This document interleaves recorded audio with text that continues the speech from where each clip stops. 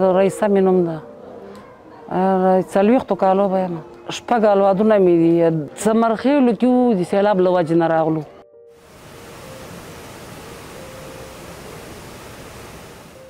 کور مالته ولته را باندې ډېر غټ سیلاب راغی دیوالونه را باندې راولېد کمودونه ولېد پنځه شپې متلې نه ویلته را باندې سیلاب راغی او نور کالینې او توشکې او بالښتونه دار څه مې لاسه ورکړو دوه وزې چرګان دار څه مې لاسه ورکړو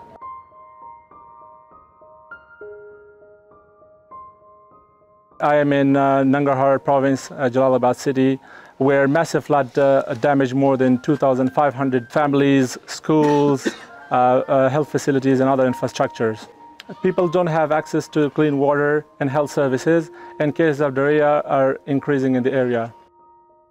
UNICEF is closely working with our partners to respond to the arising need and prepare for the future disasters.